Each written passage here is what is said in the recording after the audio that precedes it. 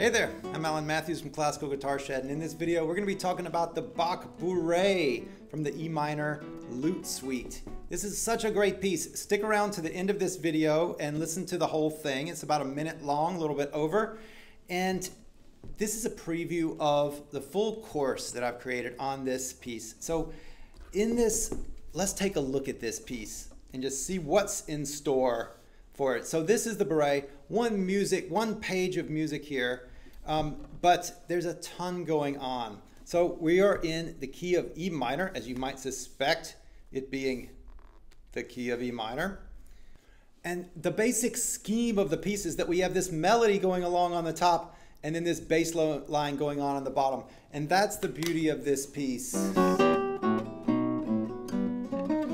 Is that you have these two things going on and that's that's the character of the piece. And then but what that creates is all sorts of thorny problems in the left hand and also some problems in the right hand as well. I like to play the bass line very uh, staccato very short and uh, short and brusque.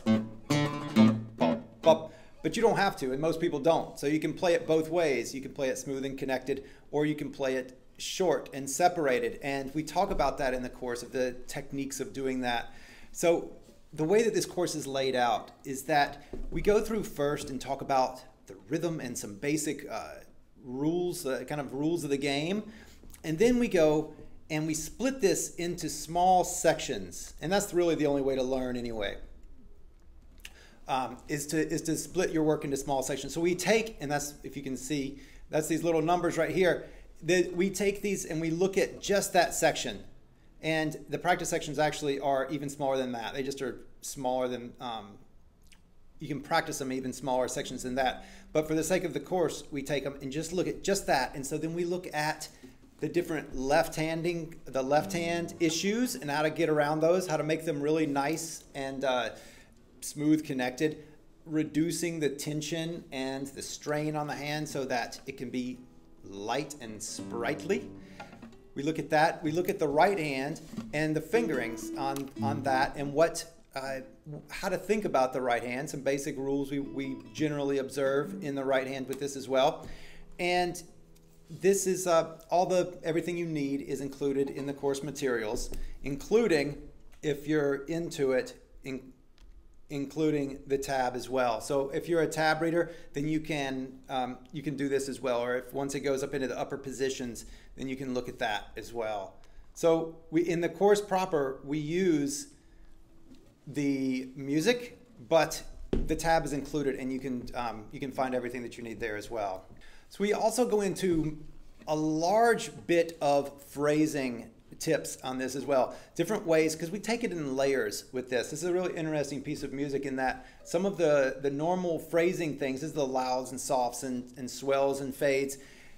Some of that doesn't work as well. Some of the, the usual things don't work as well. So we talk about different ways of doing things, uh, using volume and using bringing out certain things, leading to certain beats, things like that. So to make the music more interesting, we go really deep into that and we take it in in different steps, different layers, instead of just play this note loud, play this note soft. It's do this and it, look at the way that this goes on, and then this next thing, and then this next thing. And so, after you've done a few exercises going through, then you have a deeper understanding of the music, and then you can nudge things in different ways, and it just makes it that much more interesting to listen to. So, uh, there's a lot of talk on phrasing. But the way that it's laid out is if you are not to that point and you're playing yet, then we can you can ignore it because it's in separate videos. We talk about we go through the sections just technically as far as what are the hands doing, and then we go through and talk about